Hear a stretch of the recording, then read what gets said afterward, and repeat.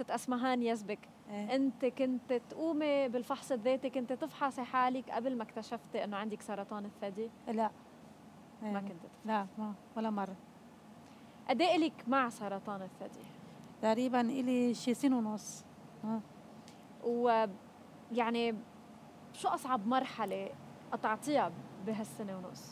آه عملت العملية. وعبكرة عندي أول جلسة علاج. إيه. بس إنه بتزعلي وبتبكي ويعني هيك أشياء. إيه. بترجعي بتقولي بدي أوقف على اجري إيه. بتقوي حالك بحالك.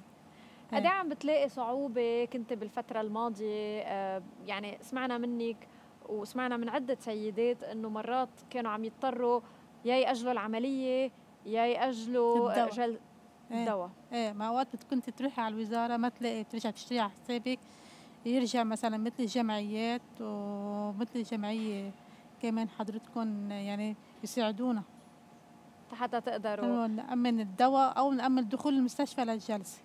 قد إيه خطرة تأخير ال- على المريضه إنه تتأخر بعلاجها إنه ما هي هن بيمشوا على بروتوكول يعني إذا بتأفف آه، مرحلة أكيد حيتأثروا. بعدين ما تنسى ثلاث سنين في كتير ناس مش بس ما تصوروا اللي كان عندهم علاج ما اخذوا العلاج. واللي ما عن مش بس اللي ما قدروا يفوتوا على مستشفى وعندك اجى الكوفيد. يعني هلأ هلأ عم نشوف من بعد ثلاث سنين الآثار هالثلاث سنين على العالم عم نشوف سرطان أكثر ادفانسد عم نشوف أعمار أقل. يعني إيه أكيد بيأثر عليهم إذا ما قدرت تاخذها أسمهان آه، بأي معنويات رايحة على الجلسة بكرة؟